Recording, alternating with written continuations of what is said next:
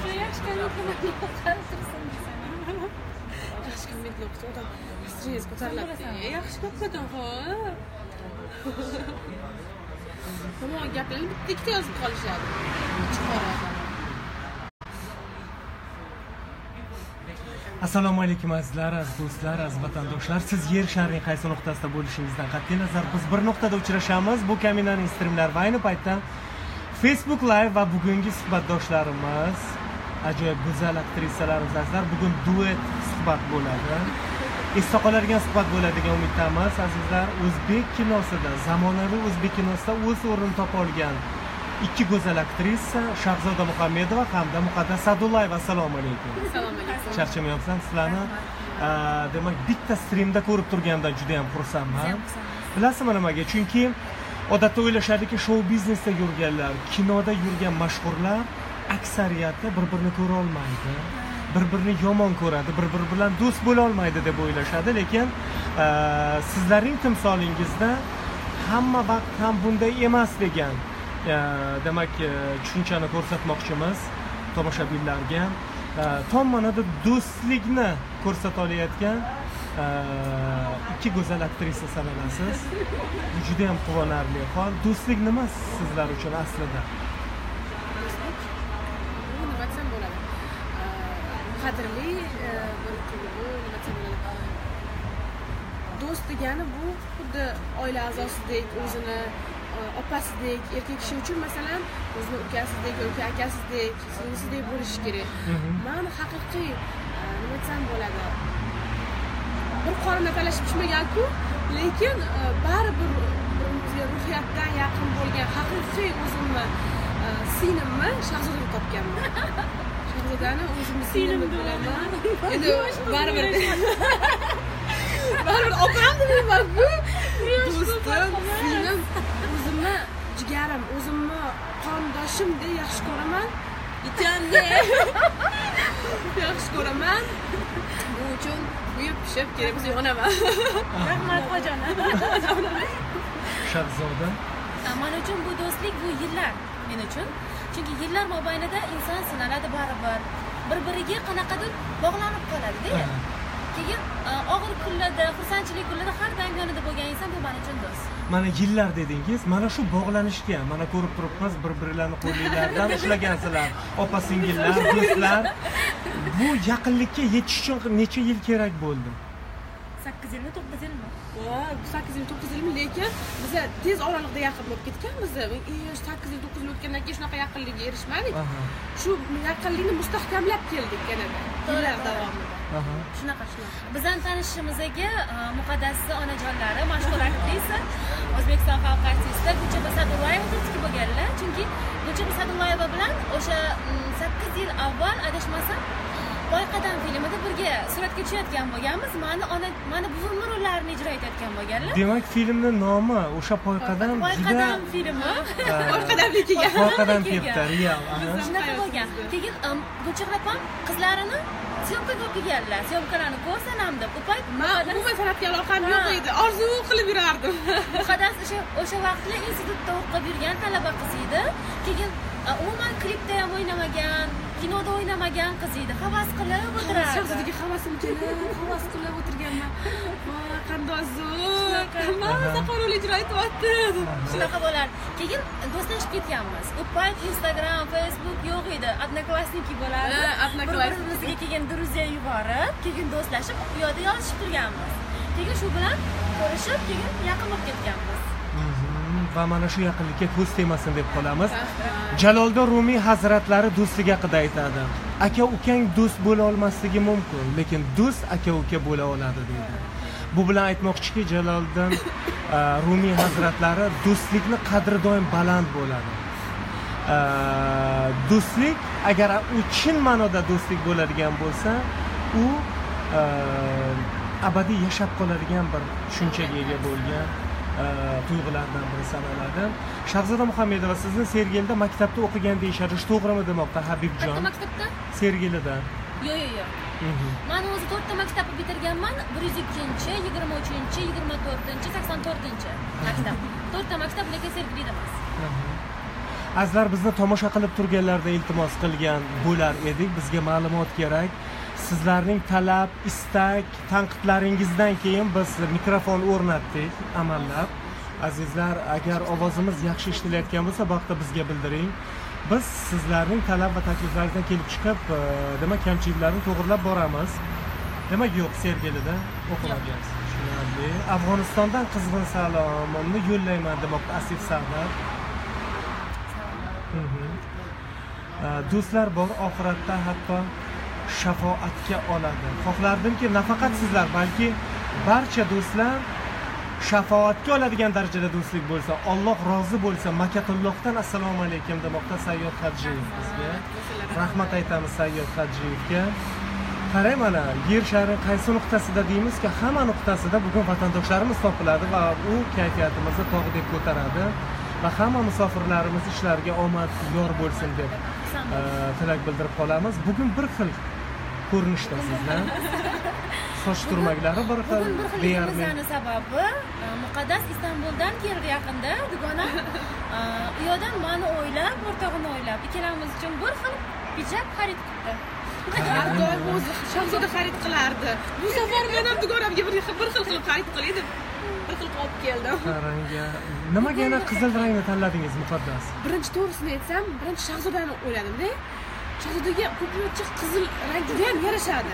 Senga mayli sal bug'doyroq bo'lganim uchun manga uncha yarashmaydi deb o'ylayman deb o'ylab turdim o'zimga ham qizil olaymikin bo- boshqa rangidan olaymikin keyin yo'q bir xil bo'lishimiz kerak mayli o'zimga ham qizil olaman men o'ylagandim shahzoda buni tikdi yo'q tikmadim tikmadingiz aha. Nimadir tikib sovg'a qilganmisiz juda muqaddasga sovg'a qilaman ko'pincha libos tiksam ham o'zim atelyemda shu eski chizsam ham bir xil qilib chizsa bir xil tikamizda tikib kiyamiz keyin aksiga olib bitta joyga kiyib kelaylik deb rejalashtirsam muqaddas kecha boshqa joyga kiyib qo'ygandim endi bugun ham u yoqda kiyolmayman shuning uchun anaqa misol boshqa kiyimimni kiysam keyin mayli mayli deymanda ikkalamiz bir joyga kiyolmaymiz ko'p kiyimni keyin ko'pchilik aytadiki almashib kiyasizlar deb o'ylar ekan bitta kiyimni muqaddas uyiga borib man muqaddas Yoki kiyimni unaqa emas bizada Mhm, bir biringizga qachondir hasad qilib qolishingizdan qo'rqmaysizlarmi hech qachon. Bizni muqaddas kinoga kirishidan oldin aytyapmanku o'shanda biz do'st bo'lganmiz do'stlashganmiz.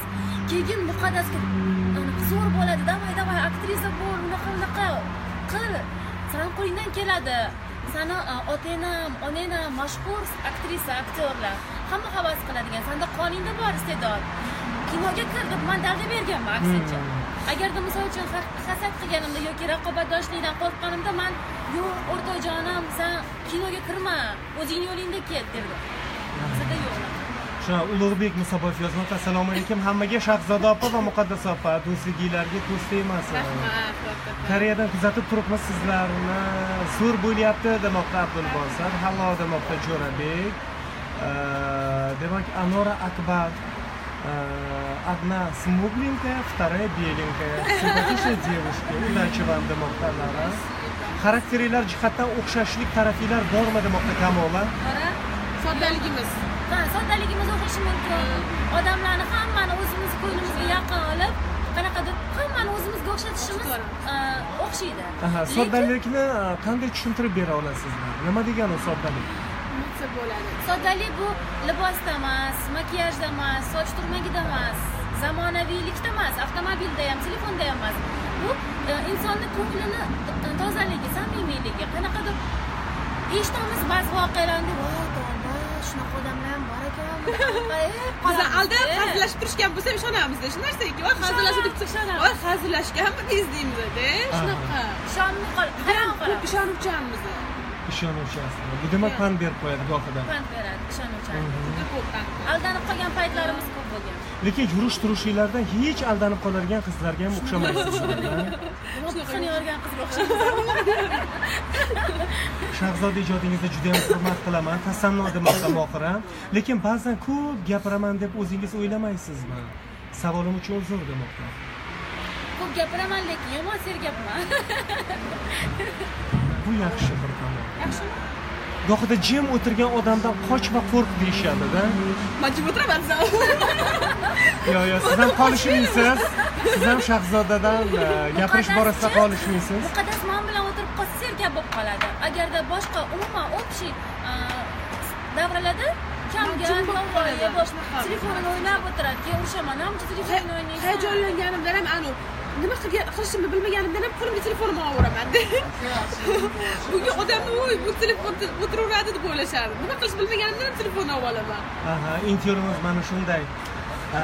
Demak go'zal ob havo bilan hamohang tarzda kechmoqda. Biz intervyuni demak e, tashqarida o'tkazmoqdamiz. Chunki havo bugun ob havo judayam boshqacha. O'zbekistonimizning ob havosiga ko'z tegmasin azizlar tinchligimizga ko'z tegmasin. Osida tunlar go'zallik. Mana shu go'zallik bilan hamohang bo'l- bo'lsin uchun ham aynan biz e, bugun restoranning tashqarisida intervyu qilishni lozim topdik. Judayam yaxshi qilibsiz lekin dugonam shamollagan uzr so'raymiz.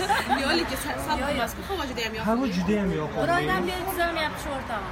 Nima bo'ldi? Bir oydan beri emas. Turkiyaga ketayotganimda shu istanbulga ketayotganimda samolyotdan boshlandi quloqlarim bitdi burunlarim bilmayman. Demak allergiya bo'lgan allergiyangiz yo'qmi bilasizmi bir xil vaqt samolyotda uchganingizda misol uchun ob havo o'zgartirganda ham odamda bo'ladi qanaqadir kasalliklar uyg'onib bo'ladi manda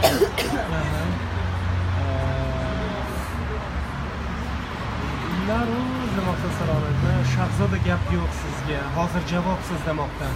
Badiyev sironiddinni biz kutamiz tursunboyev demak amerikadan salom ko'z tegmasin do'stliginglarga demoqda farmon raziqov Mhm. Shahzoda hayotda kinodagi kabi coca colani yoqtirasizmi demoqda habibjon coca colani unchalik ham yoqtirmayman. Ko'pincha sok ichaman. Mana sok ichaman har doim. Ayniqsa dena sharbatlari bugungi kunda trendda azizlar. Futbolga qiziqasizlarmi? Qaysi jamoaga demoqdasiz sadat futbolga qiziqmayman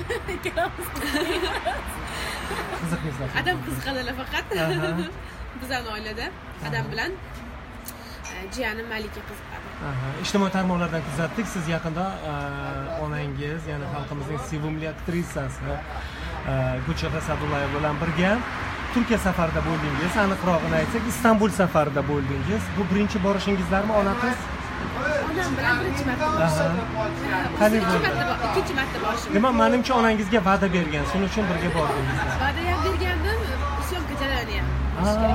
Demak film suratga olindi. Yo'q klip. Klip suratga olindi. Demak u klipda sizlarni ko'ramiz birga ona qizlar judayam yaxshi. Demak mashhur xonandaning klipimi bu klip haqida gapira olmaysizmi? Bu klip haqida e, hozircha sir a albatta Aha. sizga aytamiz birinchi bo'lib tushunarli ko'ngildagidek bo'lsa bo'lgani. Muqaddas yaqinda internetda demak syomka jarayonida suratga olish jarayonida rejissyor surat islomovga adiz akani chaqiring degan edim qanaqadir aktyor bilan janjal qildilar. Bu piarmidi deb so'ramoqda azizbek. O'shani hamma gapiradi nima u sal tushunmovchilik bo'lib qoldi syomka jarayonida. Shuning uchun u video qanday tarqaldi? Videoni bilmayman kim tarqatgan hatto sizning xabaringiz yaqin dugonaning xabari yo'q. O'sha kino san'at haqida gaplashmaymizda o'shaning uchun so'ramanman tushunarli. Iltimos savolimni bering shahzodaning ijodiga qoyil qolaman. Juda talant demoqda jasur shermatov. Barakalla. Amerika qo'shma shtatlarida istiqomat qilaman. Qizimni shahzodaga shogirdlikka bersam olardimi shogirdlarim ko'p bo'lgan. Amerikadan kelib o'qib dizaynerlik a, faoliyatini o'rgangan shogirdlarim ko'p bo'lgan. Tushunarli. Norqobilova yevropa tomonidan salom yo'lladi. Keling taxmin qilib ko'ramiz. Qayerdan bo'lishi mumkin? Sizlarda faqat bittadan imkon bor. Sizningcha bu qaysi mamlakat? Parij E, demak fransiya demoqchisiz sizningcha bu? Istanbul deyman mayli. Yo'q yevropa. tomonidan chexiya ikkovinglar ham yutqazdingizlar. Olqishlab qo'yamiz. Yutqazdingizlar germaniyadan sizlarga. Salom yo'llangan edi tushunarli tushunarli. Hind kinolarini yoqtirasizlarmi? So'ramoqda o'sha germaniyadagi vatandoshimiz. Yoqadi. Qaysi filmlarni tomosha qildingiz oxirgi marta? Mm, man o'zi a, doimiy ko'radigan a, filmlarim bor o'zi. O'sha filmlarni yaxshi ko'raman. Bu divya buxati bilan shohruxxon o'ynagan devona filmi yoqadi voy menga bu necha yil oldingi film qarang undan keyin necha yuzlab filmlar yaratildi bollivudda nahot tomosha qilmadingiz? Ko'rdim ular nomini yoddan bilmayman. Keyin har doim qayta qayta ko'rgim keladigan o'sha film.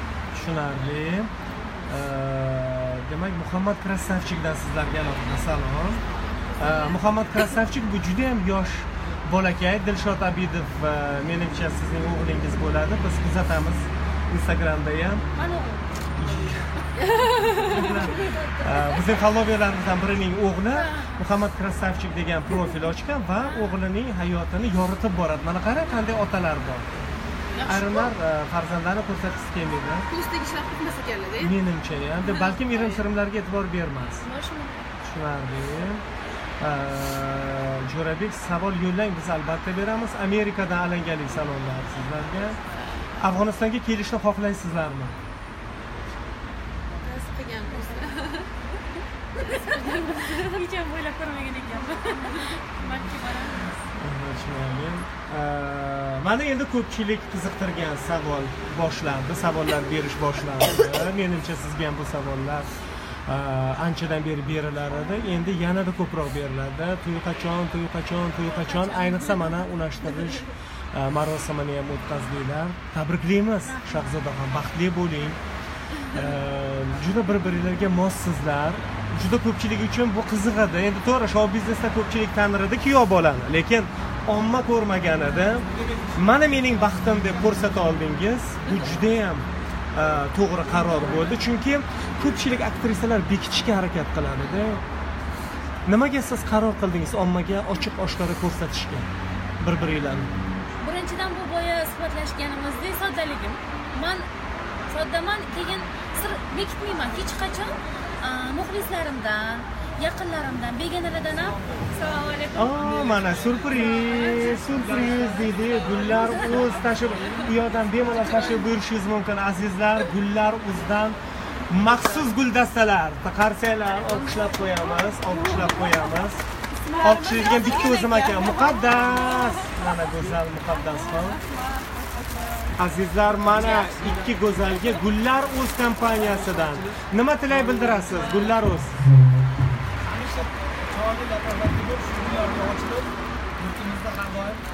Baxtiylari mana shunday guldastadek bo'lsin deb qolamiz. Gullar o'z kompaniyasiga alohida minnatdorchilik bildiramiz.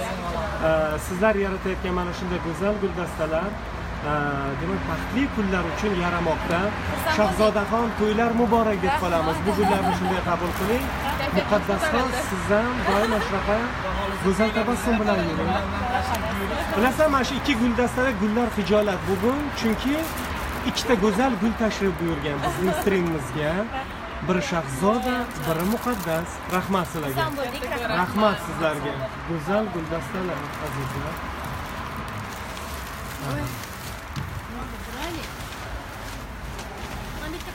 Demak gullaru sayratga solishni biladi baribir. Nima dedingiz? Muhammedova bu bu gul a, do'kondan menga ikkinchi marotaba sovg'a qilishligi. Shahzoda butik atelye ishxonamga ham kelib xuddi shunaqa buket sovg'a qilishgan. Edi taniyman siz nima deysiz hayratga sola oldimi hayratga gullarus sololdi sizni juda yam xursand bo'lib ketdim. Kayfiyatim ko'tarilib ketdi. kattakon rahmat aytib qolaman. Muqaddas siz uchun dunyodagi eng muqaddas tuyg'u nima? Bu muqaddas tuyg'u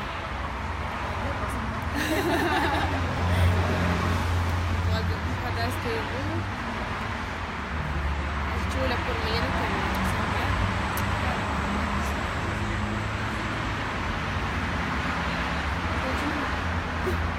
endi o'zi eng muqaddas tuyg'u bu uh, vatanga bo'lgan sevgi uh, onaga ota onaga bo'lgan sevgi eng asosiysi oilaga turmush o'rtog'iga nisbatan bo'lgan sevgi deb o'ylayman turmush o'rtog'iga bo'lgan sevgi. Endi bu haqida ko'p gapirasiz. Menimcha bu yog'iga bu yog'iga ko'p boya gapirasiz gapimiz chala qoldi. Nimaga a, oshkor etganimiz sababi?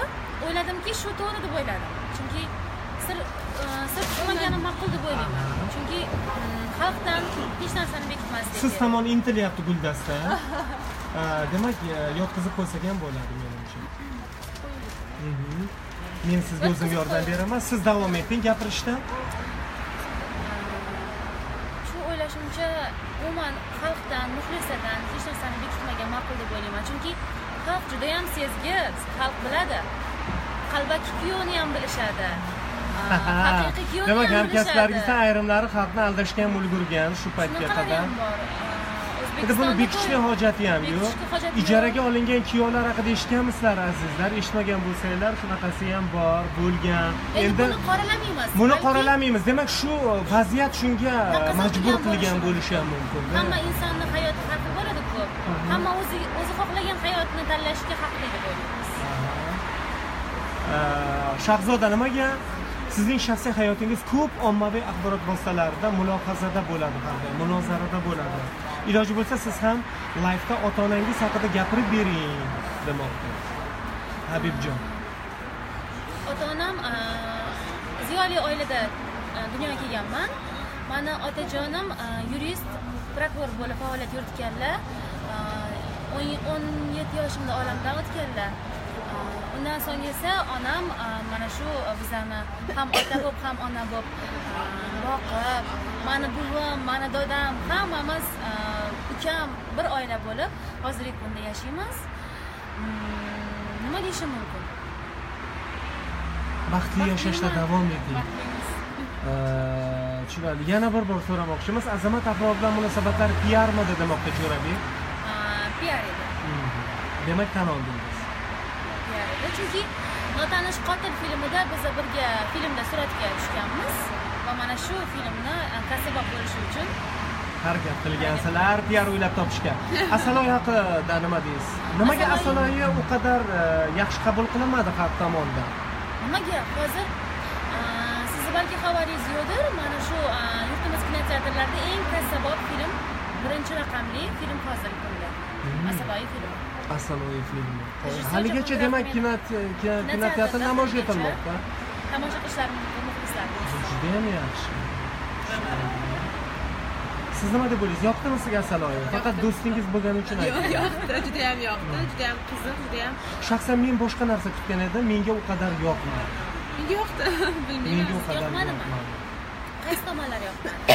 Masalan yoqqan tomonlarini aytishim mumkin o'sha milliy liboslarga urg'u berilgani bu sizning yutug'ingiz. Shahzoda e, bu uchun alohida minnatdorchilik bildiramiz baribir o'z g'oyalaringizni ham singdirishga harakat qilgansiz rejissyor bilan birgalikda deb o'ylayman. Faqat rejissyor juda chiroyli bo'ldi.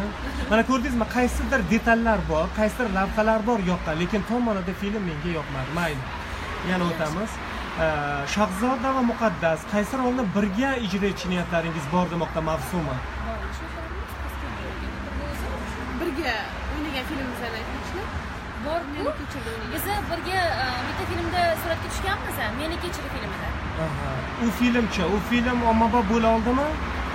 Ommabop bo'la oldi. Uni youtube orqali tomoshabinlarimiz ko'rishlari mumkin. Meni kechir meni kechir mohira sizga savol yo'llamoqda muqaddas sizchi yana turmush qurish niyatingiz bormi?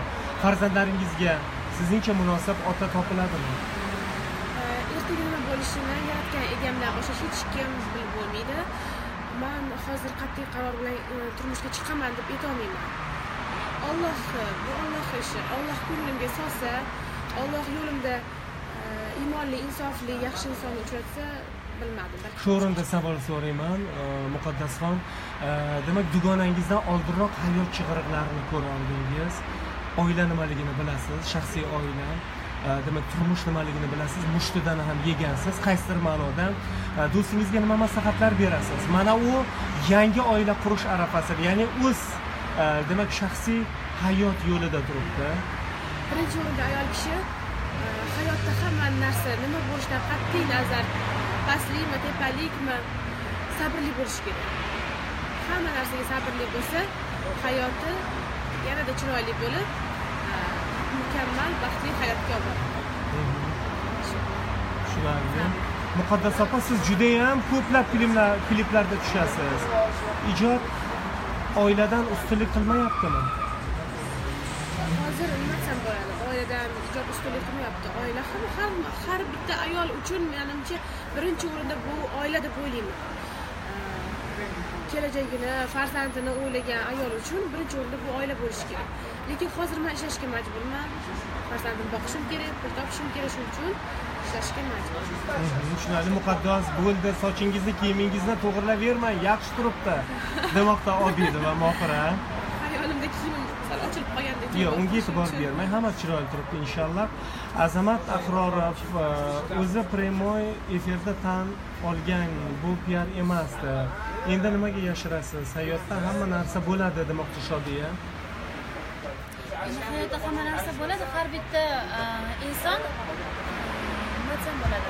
O'zini hayotini judayam chiroyli boshlash kerak deb o'ylayman. Chunki olloh bir martagina umr beril- berganda insonga mana shu umr yo'lini judayam chiroyli o'tkazish kerak deb o'ylayman. Afsuski ko'p insonlar hayot yo'lini pokiza va chiroyli o'tkaza olmaydi. Shuning uchun man pok hayot tarafdoriman tushunarli.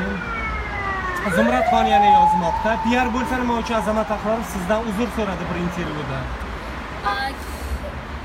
chunki a, kinofilmda suratga olish jarayonlarida shu xafa qilib qo'ygani uchun uzr so'ragan tushunarli isayeva yozmoqda shahzodaga tasannolar bo'lsin serqirra ijodkor to'g'ri sarflashga til ojiz. Ilohim baxtli bo'ling baxtli kelin kelin bo'ling suyukli ayol va mehribon ona bo'lish bo'ling va shunga tilakdosh bo'ling. Ha, hayotingizdagi eng qiziq bo'lgan voqealardan aytib beringlar. Demoqda habibjon. Eshitaylik haqiqatdan hayotimizda ikkalamizni hayotimizda eng qiziq bo'lgan voqea bor bir payt xotiram yaxshi emasda ko'p narsalarni muqaddas bilan ikkalamiz davlat tadbiriga borishimiz kerak edi bizga prezidentimiz tomonidan judayam katta sovg'a berilishi kerak edi o'zbek kino milliy agentligidan hamma san'atkorlar borishdi hamma aktyor aktrisalar muqaddas nuqul kech qoladigan odati borda jahlim chiqib telefon qildi muqaddasga muqaddas qayerdasan dedi desam hozir hozir man anaqa uydan chiqib ketyapman dedi. Aha bo'pti ho'p bo'la qoldi. Kutib o'tiribman muqaddas. Telefonni qo'ydim. Oradan yigirma daqiqa o'tdi yana telefon qildim. Muqaddasim shahzodama yo'ldami? Yo'ldama ketyapman dedi. Nima kiyding dedi. Agarda san yo'lda bo'lsang dedi mani nima kiyganim bilan nima ishing bor deyapmanda yo'q shunchaki so'ramamanda dedi. Muqaddas mani aldamayapsan desam shahzoda mani odamga o'xshaydi hammadan birinchi bo'lib borib oladi. Yo'q. Qayoqqa muqaddas mani aldamayapsan desam yo'q yo'q aldamayapman unda moshinadagi muzikani doshini baland qilchi dedim desam hozirmishda bas vaqt o'tdida e bo'pti kelyapman shahzodamish mani aldamayaptida muqaddas dedim shunchalik ham bo'lasan dedim bashariy qursin dedim qilmamanga dedim hozir kelyapman shahzod xafa bo'lma qilmamanga dedim o'zing kir dedim. Man seni kutmayman. Jahl qilib qo'yib qo'ysam o'sha aynan aynan o'sha gaplashgan ovozimiz otabek mutalxo'jayevga ketib qolibdi. Bilmayman bu qanaqasiga ketib qolgan. yomon bo'lgan bu otabek mutalxo'jayevga o'sha payt nimadir bitta proyekt ishlashganmi nima ashulami nimadir yubosh kerak bo'lgan. klipda tushgan bo'lgan otabek mutalxo'jayevga shahzodaxon tushgan rasmlarimizni jo'nating singlim dedilar hop endi rasmlarni jo'natdi ovoz yozadigan nima bor ekan? Program- Bitta fon bor programma o'zi bor bilmaydi ekan, o'zini o'zi xabari yo'q. De o'shandagi mani zapisimni ham tashlab yuborganda keyin otabekka buni nima desa bo'ladi o'zbekchalar bilmayman pushkaga olib buni aytganlar tarqatib yubordim Nishonga olib. Ma- nishonga olib. Man sizlarni nima qildim? Nima qanaqa nimadir orqali shu oldim shu ikkovinglar suhbatinglarni endi buni tarqatib yuboraman deb yuboraman soddaligi qo'rqib soddalik qursin. Ming marta telefon qilib Otabek sizlar qanaqa qilib oldingiz qanaqa qilib oldingiz man hayronman qanaqa qilib oldingiz telefoningizga nimadir ulatib qo'yganman deb nimadir hazillashyaptilar keyin onamga aytsam onam aytdilar ana sanlar san'atkorsanlar sanlarni ovozlaring hammasi yoziladi telefonlaringga o'ylab gaplasharing shuning man tamom bo'ldim shu kungacha nimalar gaplashganman muqaddas keyin qarasam shahzodaxon to'g'risini aytsam telegramdan o'zingiz jo'natdingiz manga. Keyin telefonimni tutib qarasam manda shunaqa programma yozilib qolibdi ovoz yoziladigan. Bilmasdan yuboribman ularga muqaddas juda yam samimiy aktrisa. Omad sizga demoqda suratxon fikringizga qo'shilamiz. Bir xil kiyinib olibsizlar juda yam yarashibdi. Buning muallifi shahzoda ham bo'lsa kerak degan fikr. Yo'q yo'q muqaddas qildi. menimcha bular endi tomosha qilishni boshladi nimaga aynan qizil rangni tanladingiz chunki dugonam shahzodaga qizil rang juda yam yarashadi demak birinchi dugonangizning dugonamni e, didini inobatga inobatga oldingiz. Olib ko'z oldimda o'tkazdim. Uh, unga qaysi rang ko'proq yarashishini qizil rang mana shunday olov rang nima desam bo'ladi lab bo'yog'i bilan ayniqsa bunga juda yam yarashadi. Tasavvur qildim. Keyin o'zimga ham ha o'zimga ham bo'ladi keyin oldim. Tushunarli. Madina rizayeva yozmoqda shahzoda guvohimiz juda ko'p mamlakatlarni ko'rdingiz. Yaqin kelajakda muqaddas sanalmish makka madina shaharlarini ham ko'rish va ibodatlarni ado etishni xohlarmidingiz? Albatta, yoki bu ishlarga hali vaqt bor deb bilasiz man juda yam xohlayman. Mani o'zi mani buvam mani dodam hojoni hojoti lekin ular islomiy fikrlashgani bilan qanaqadir zamonaviy insonlar nima desam bo'ladi. Uni tushuntira olmayman o'zi e, qanaqadir o'zbekona tomonlari ham bor mani oilamni lekin zamonaviy qarashlari ham bor. Man o'ylaymanki man hali yoshman. E, xudo xohlasa oilali bo'lib farzandlarim bilan birgalikda shunaqa e, allohni uylariga borib ziyorat qilishga niyatim bor balki dugonam bilan dugonam farzandlari turmush Nasib etsin o'rtog'i ilohim. mani Chunki- turmush o'rtog'im bilan. Iloyim inshaalloh bularni ham balkim yangi balkim sobiq turmush o'rtog'i bilan borib inshaalloh e, birga birga ko'rib kelinglar ibodat qilinglar inshaalloh chunki joylarga borgandan keyin inshaalloh insonning ichki dunyosi butunlay o'zgaradi shahzoda muhammedova bilan muqaddas sadullayevaning do'stligi qanday boshlangan shadiya so'radi bu haqda aytib bo'ldik menimcha hozirgina kirgan bo'lsalar kerak youtube orqali tomosha qilishlari mumkin albatta biz bu intervyuni saqlab qo'yamiz va youtube'ga joylashtiramiz sizda imkon bor shodiyaxon demak tomosha qilib e, ma'lumotga ega bo'lasiz bularning do'stligi haqida. O'lim yoshmisiz deb qarab o'tirmaydi degan fikr bildirdi abdulaziz yusuf. Endi bu savolni berish balkim noo'rindir balkim o'rinlidir.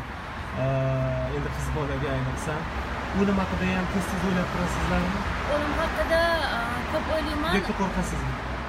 Rostini ayting faqat. Qo'rq- qo'rqmayman lekin qo'rqmayman. Э, Э, qanaqadir ma'noda э, o'ylash o'zi bir murakkab э, tuyg'uda bu.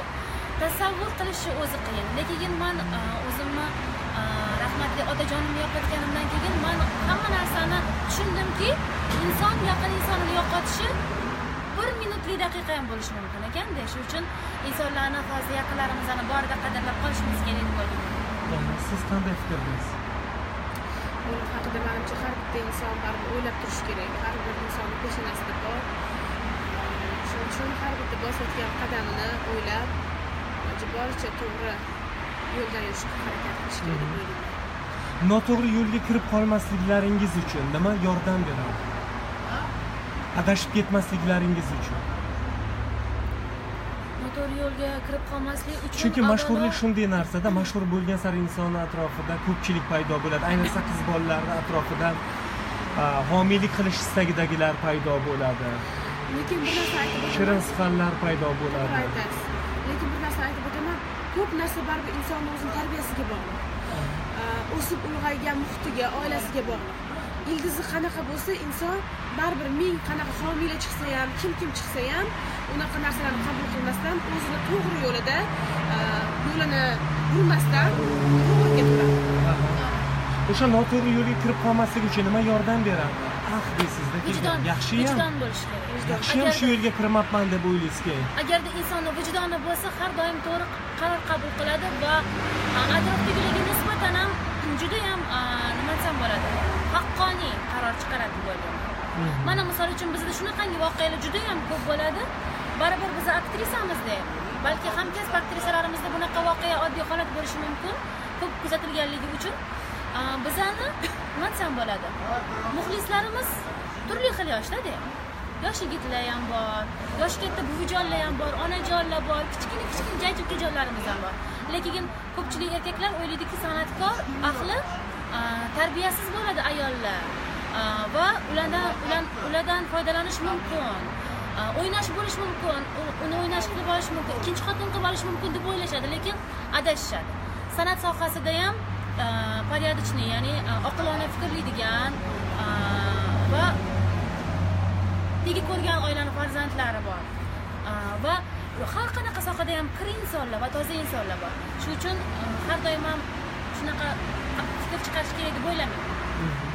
Misol uchun bizga shunaqa takliflar bo'lganda muqaddas ham aytadi biz ham aytamiz hech qachon birovni baxtsizligi evaziga baxtli bo'lolmaydi inson. hech qachon. Misol uchun ikkinchi turmushlikka olsada aktrisani olsa bu yoqda uni ayolichi uni farzandlarichi qoni yig'laydiyu bu xiyonatda bu oilaga bo'lgan xiyonat. Kim biladi bu inson ertaga bu insonga ham xiyonat qilishi shuning uchun man bu narsaga juda yomon qarayman haloli juft haloli bilan bir umr baxtli bo'lish kerak. Sohangizda boya siz aytmoqchi bo'lgan qalbi kir hayoti kir bo'lgan aktrisalar ham bormi? Yuzma yuz aktyor uchrashganmisizlar aktrisalar xonandalar hamma hamma joyda bor doktorlar ham bo'lishi mumkin. Hamma sohada bor. Shunday hamkasblaringizni bilasizmi bolamiz aytishimiz shart emas endi masalan ularni ham xudo sinchkovlik bilan o'ylasak ba'zi birlar hayotda hayotda haqiqatdan kir insonlar. Eh, osonlikcha pul topishga osonlikcha yengil hayot tanlagan insonlar bor. Ba'zi birlari majburlikdan qiynalganidan boshqa chorasi yo'qligidan shunaqa qilgan insonlar ham bor. Bunaqalarni ham eshitganmiz. Endi lekin allohga shukur bizlarni boshimizda ota onamiz bor. Tarbiyamiz boshqacha. Qush uyasida ko'radimi? Ko'rganini qiladi deyishadiyu. Shunga ming shukur etamiz tangriga allohga ota onamizni boshimizga berib qo'ygani uchun onasini buvisini berib qo'ygani uchun. Bizada unaqa narsaga e, nimasi nimasi bilan muhtojligi ham yo'q. Ba'zi aktrisalarchi bilasizmi? bu boylikka o'chlik deyiladi inson boylikka o'ch bo'lishi kerak emas. A, shunaqangi insonni o'ziga yoniga. Orzu qilsa niyat qilsa. Lekin a, pul uchun inson o'zini sotishi kerak emas muqaddas ijodingizga omad tilayman ofarin sabrli ayolsiz demoqda mavsuma lekin ma'yus ko'rinasiz sababi nima ma'yuslik bilmadim. Shunaqa deyishadi balki hayotda ko'p narsa ko'rganim uchun.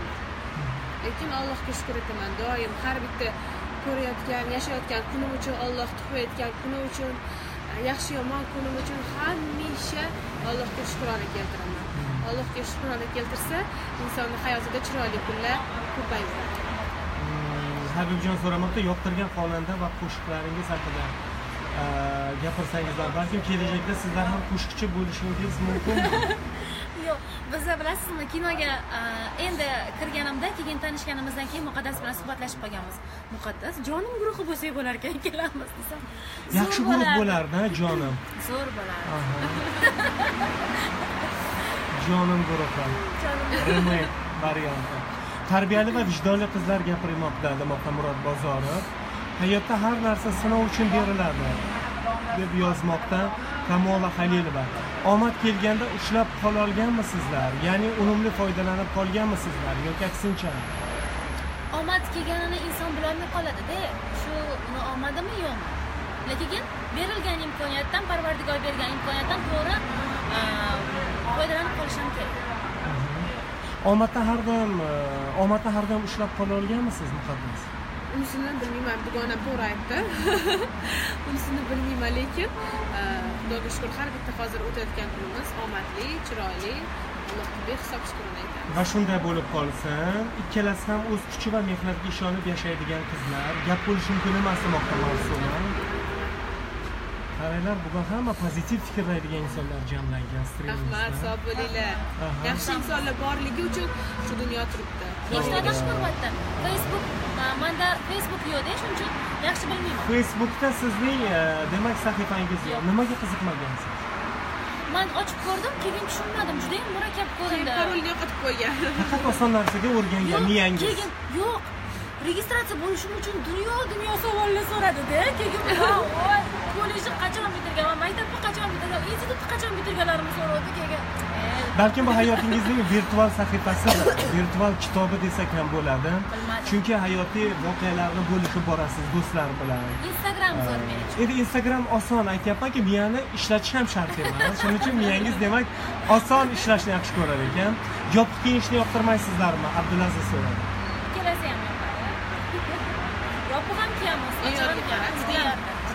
judayam ochiq ham kiymaymiz me'yorida tushunarli kuyov bola shart qo'yib qolsachi shahzodaxon yopiq kiyinasiz bilasizmi kuyov bola unaqa kiyim temasida kiyim mavzusida shartlar qo'ymaydilar. Chunki demak dunyoqarashinglar juda bir biringlarga juda mos. Bir birimizga mos ular a, rossiyada yashaydilar. Rossiyada o'qiganlar kollejda ham universitetda ham. Hozir ham moskvada ishlaydilar строитель arxitektor bo'lib faoliyat yuritadilar. Ularni fikrlari umuman zamonaviy. Kiyim kechak unaqa mavzuda maydalashib o'tiradigan demak bu sizga ma'qul.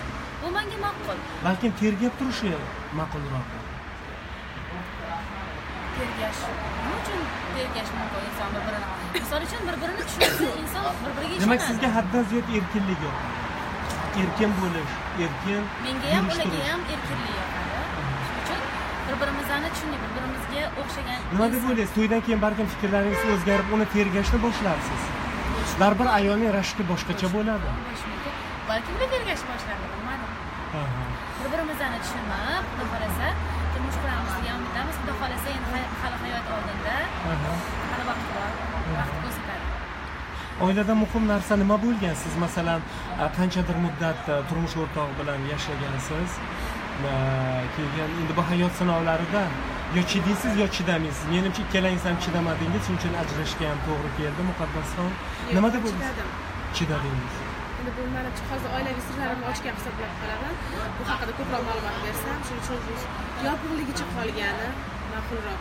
Chunki nima bo'lsa ham farzandimni otasi farzandimni otasini hozir haqiqatni gapirsam yomonlagan xohlamayman Aha, bu demak tarbiyangizni ko'rsatyapti rahmat sizga shahzoda savolim uchun oldindan uzr lekin hayotda har xil vaziyatlar bo'ladi. O'zingizga nisbatan bo'lgan xiyonatni kechira olarmidingiz demoqda Madina o'zingizga nisbatan?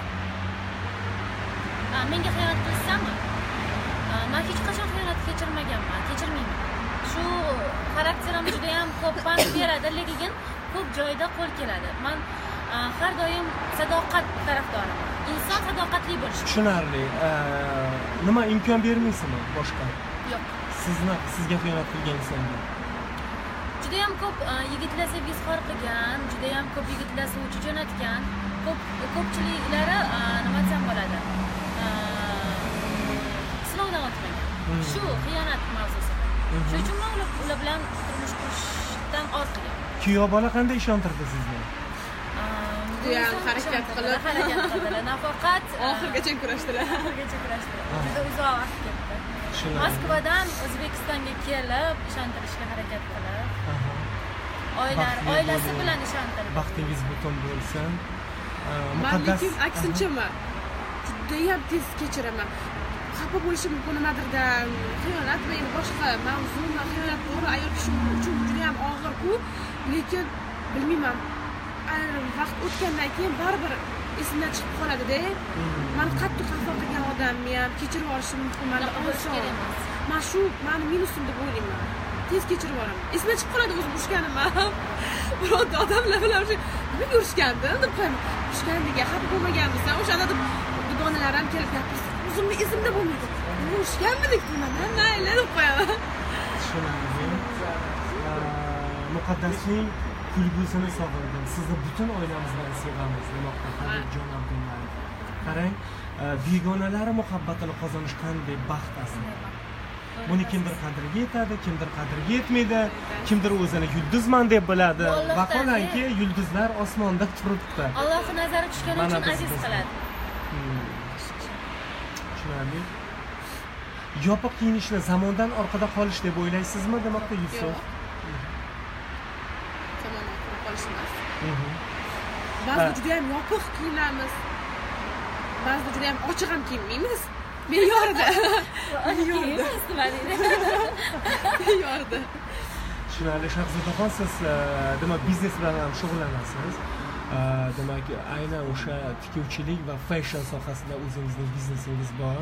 Buni qadrlaymiz. Chunki juda ko'pchilik boshlaydida mana shu fashion sohasidan keyin ko'pchilik yo'qolib ketadi lekin siz uzoq yillardan beri e, demak e, davom etib kelyapsiz bardavom bo'lsin deb qolamiz.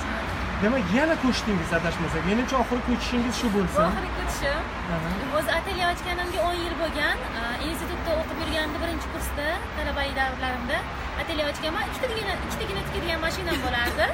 Keyin keyin rivojlanib rivojlanib hozirgi kunda yigirmadan ortiq tikadigan mashinalarim bor va ishchi xodimlarim bor shogirdlarim judayam ko'p man o'ylaymanki yillar mobaynida inson malakasini oshiradi mehnat qilib qilib kengaytiradi. Shuning uchun barcha barcha ayollarimizga qizlarimizga yigitlarimizga hammaga maslahatim hech qachon risk qilishdan ya'ni nima deydi o'zbek o'zbek tilida? Qo'rqmaslik kerakda bitta Tavakkal qilishdan. tavakkalni tavakkal qilishni bilish kerak. Tavakkal bu insonni yaxshilikka olib keladi. Shuning uchun tavakkal bilan misol uchun judayam milliarder bo'lib ketgan insonlar ham bor. Va o'shalarga havas qilasiz va ularni yo'lini bersin deb davom etyapsiz? deyman. hozirgi eng oxirgi ko'chgan joyi bu o'zimizni joy va nihoyat rahmatli adajonim qurganlar u joyi o'sha joyga ko'chib o'sha joyi remont qilib o'sha joyga joylashishni ma'qul ko'rdim Mhm. qarang qiz boshingiz bilan qancha ishlar qilyapsiz demak biznes sirlarini tushunasiz? Bilasiz biznes sirlarini tushunaman. Misol uchun agarda qo'limda pul bo'lmasa qo'limda pul bo'lmasa shaxsiy mulkimni sotib bo'lsa ham o'sha niyatimga erishishga harakat qilaman. Misol uchun mana shu ishxonamni hech ham aytmagandim mana shu ishxonamni ikki qavatli ishxonamni buzib boshqatdan yangitdan ta'mirlash uchun ichki va tashqi ko'rinishini captiva avtomobilimni sotib yubordim. Va hozirgi rejam endi avtomobil olish. Chunki remont qilib Shu biznesga demak av- avtomobilni sotib pulini tikdingiz endi yana o'sha pulni chiqarib olasiz va e, mashina xarid chunki qarz ol- olishni yomon ko'raman kimlardan qarz ololmaymanku. Shuning uchun o'zim shaxsiy mulkimni sotdim. Mhm, odamdan ham qarz so'ramayman. A, oila a'zolarimdan hech kimdan qarz so'rayman. Shuning uchun eng oxirgi yo'l shuda o'zi. Deb nargan chumoli madina savolim kelangizga demoqda. Haqiqiy baxtni nimada deb o'ylaysiz? Va baxtni bir umrga ushlab qolish uchun nima qilish kerak deb o'ylaysiz? Haqiqiy baxt bu ayol kishi uchun birinchi o'rinda e, tinch totuv oilada yaqinlari sog' bo'lishida kelajakda shirin yashagan farzandlarni onasi bo'lishida. Shu baxt ushlab qolish uchun shu ayol kishi sabr qilishi kerak. Faqat hamma narsaga sabr qilishi kerak. Hamma narsa sabr qilsa baxt har doim mustahkamlashib boradi qo'shilaman dugonam demak o'zingizda boshqa fikr yo'q. Nimaga fikr bor vaqt hayolingiz qayerda? Hayolim ketib qoldi. Bilmadim vaqt tushunchasini qanaqa tushunasiz dedingizmi deb so'rashdi. Mhm.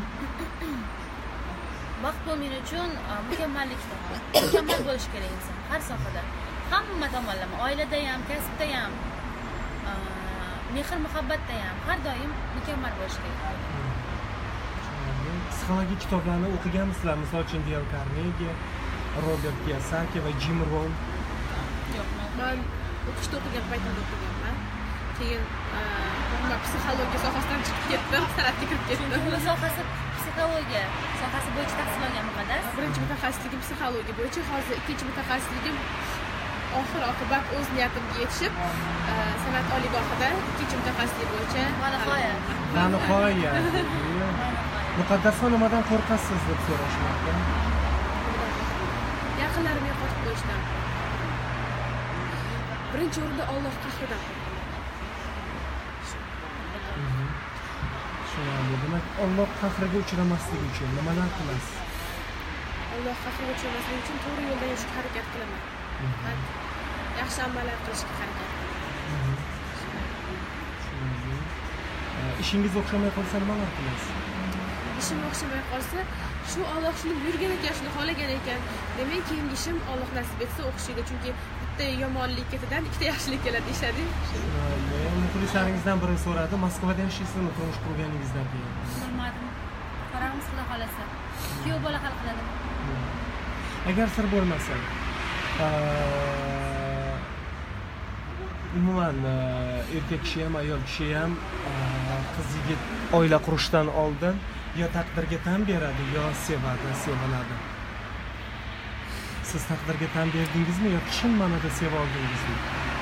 Man taqdirga tan berdim va sevildim shuning uchun man a, shu insonni tanladim. Qarang ikkitasi ham nima qanchalar egoistsiz sevmadingiz sevildingiz. Buni tan olyapsiz bu sizga yoqyapti va taqdirga sekin sekinlik bilan Aha. lekin qalbga buyruq berib bo'lmaydi. Qiz bolani sevgani kerak emas deb o'ylayman. Qiz bolani sevgani qayoqqacha ham boradi misol uchunda agarda turmush o'rtog'ingiz sizni sevsa yigit kishi sevsa qiz bola avtomatik ravishda o'sha insonni yaxshi ko'rib sevib qoladi. Qanaqasiga? Turmush o'rtog'ingiz shundoq ideal inson. Hamma tomonlama sizga mehr berib ham romantik bo'lsa ham haqiqiy mard erkak bo'lsa irodali jasur bo'lsa qanaqasiga sevmaslik mumkin bu insonni yaxshi ko'rib qolasizda ayollar shunaqa bo'ladi. Baribir e, a, nima desa bo'ladi turmush o'rtog'ini sevib qoladi. Shu uchun bejizga emas e, bobo kalonlarimiz vaqtidan shu buvilarimiz buvalarimiz a, go'shangida ko'rishganlar ham bo'lgan to'yda nikohda bir birini ko'rganlar ham bo'lgan. Bejizga emasda qarang. Mhm. o'sha uyg'onish davrlarida bizani o'zbekchiligimizda borda shu shu urf odat hayron qolaman shunga. Qanaqa qilib turmush qurishgan man bilmadim tushunarli. Э, demak э, oilaga bag'ishlangan aynan mana shu yosh kelin kuyovlarga bag'ishlangan kitoblar chop etilgan juda yam ko'plab. O'qib chiqishga ulgurdingizmi? Yo'q menda bor u kitoblar berib qo'yishingiz kerak dugonangizga berishingiz kerak tushunarli oila muqaddasligi haqida kelinlik maslahatlari haqida shahzoda bo'lajak turmush o'rtog'ingiz bilan qanday tanishgan shu haqida aytib bering dedi go'zal o'zi man rossiya federatsiyasiga tashrif buyurganman borganman A, xalqaro festival moda rossiya festivalida ya'ni dizaynerlarni butun xalqaro miqyosida yig'ilib o'sha modalar namoyishini o'tkazganda o'shanda borganman moskvaga. Shunda bu insonni ko'rganman unaqa e'tibor bermaganman to'g'risi.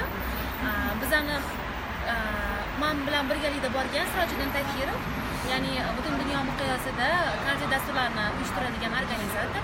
Shu inson ular ikkalasi do'st ekan. Shuning uchun mana shu a, do'stlikligi sababli tanishganmiz. Shunaqa. Aka ketib qoldilar jasur aka ketib qoldilar aha davom etamiz nima olib keldingiz jasur aka davom etamiz keyinchi davom etolmay qoldim qo'lingizdagi narsalarni ko'rib bunga yetib kelamiz hamkorlarimizdan sovg'alar bor sizlar ham shou biznesdan ketib namoz o'qib uyda o'tirib olasizlarmi? Allohning roziligi uchun. Axir shou biznes o'tkinchi-ku demoqda maqsud ubaydullayev namoz haqida oshkora etish shart emas. Buni san'atda yurgan insonlar ham hech kimga bildirmasdan alloh uchun ibodat qilishi mumkin. Buni bu narsa bu ovoza qilib man namoz o'qiyapman man ibodat qilaman degan gap emas. Uchun yozmoqda. Chin sevgi to'ydan keyin deyishardi shahzodaxon. Shu gapga qo'shilyapman men ham balki rostdir haqiqatdan ham. Bir narsaga amin bo'ldimki bu qizlar ko'ngli pok insonlar demoqda mavsum. Har qanaqa qizlar bular qilgan ishlarni qila olishmaydi lekin g'arazli insonlar yomon fikrlashadi bunga qanday fikrdasizlar kelajakda orzu havas qiladigan oilaning suyukli ayol bo'lishlarini tilayman. Inshaalloh xudo xohlasa taqdirga qanday qaraysizlar? Mashhur insonlarning mashhur insonlarni ko'p tanqid qilishadi. Har xil gap so'zlar og'ir gaplar dilni og'ritadigan gaplar. O'rganib ko'nikli Ko'nikar ekan demak boshida asabiylashasizlar keyin bilashar ekan bilasizmi? Boshida xafa bo'lganman o'zimni kelolmaganman yostiqlarni quchoqlab yig'lab yotgan paytlarim ham bo'lgan o'ylab qarasak g'iybat shunaqangi narsa ekanki mana hozir jasur aka siz muqaddas uchalamiz o'tirib qolagan san'atkorimizni hozir mavzu qilib olib yangi g'iybat o'qib chiqarishimiz mumkin va hozir o'zida oshkor bo'ladi va inson bir-biriga aytib aytib ommalashib ketadi bo'lar bo'lmas gap tez tarqaladi mish mish tez tarqaladi demoqchisizlar hayotda kibrlanib ketmaslik uchun o'zingizda nimalarni tarbiyalab borasiz rizangiz? Bitta mashhur insonni eshitgandim kibrlanib ketmaslik uchun judayam badavlat inson ekan u inson. Kibrlanib ketmaslik uchun har kuni o'zini paypolarini o'zi yuvar ekan. Uni xizmatkorlari qo'l ostida bor ekan. Judayam badavlat inson ekan lekin o'zini ichki kiyimlarini oyoq kiyimlarini hammasini o'zi yuvar ekan. Kibrlanib ketmaslik uchun. Bilan ketmaslik uchun bilmayman odam oddiy bo'lsa Albatta. ketolmaydi manimcha bu o'zidan kelib chiqadi. masalan ba'zi bir hozirgi san'atkorlarimiz bor hali endi chiqayotgan san'atkor lekin ularni ko'rsangiz kibr deysiz. U odam xarakteri u. U masalan kibrlanib ham ketmagan u xarakterdan kelib chiqqan oldin mana shunaqa inson voy hali tak kibrlanib ketibdi endi chiqyapti bu deysizda bu odam xarakteriga bog'liq. Masalan odam oddiy bo'lsa hech qachon kibrlanmaydi oddiy bo'lib qolaveradi masalan mani ota onam oddiy oddiy insonlar. Mana xalq sevgan san'atkor bo'lib xalqni mm, mehrini qozongan san'atkorlar necha yillik san'atkorlik bo'lsa ham baribir oddiy inson. Kibrlanib ketishmagan o'zligini yo'qotishmagan hech qachon. Odam o'zida bo'lishi kerak bu narsa. Yigitaliga noqulay savol berganingizga afsuslanmadingizmi demoqchiman kimga? Yigitaliga. Hazillashgan. Ha konsert hazillashganmiz. Instagramga o'tmaymizmi tuydik Aha. mana shu sharbatdan quyib ichsam yana sharbat sharbatlardan sharbatlari ozgina sog'lig'im sog'liq uchun ham foydali Sog'liq sal pand berayotgani uchun tomoqlarim qiynalyapman bena sharbatlarim gapirishimga yordam beryapti hozir yumshatyapti tomog'imni oldin shahzodaning instagramdagi sahifasida juda ko'p yomon tanqidiy va salbiy e, kommentariyalar yozishar edi hozirga kelib hammasi ijobiy tomonga o'zgargan. Buning sababini nima deb o'ylaysan otkamol bilmadim. Balki insonlar yaxshi ko'rib qolgandir. Yanayam yaxshi ko'rib ya- yaxshi ko'rib ketishgan. Muqaddas nega instagramdagi sahifangizga turmush o'rtangizdan tushgan rasmlarni qo'ymaysiz. Go'zal so'radi. Chunki bunga o'zgarishi sababchilar sabablar hojati yo'q hozir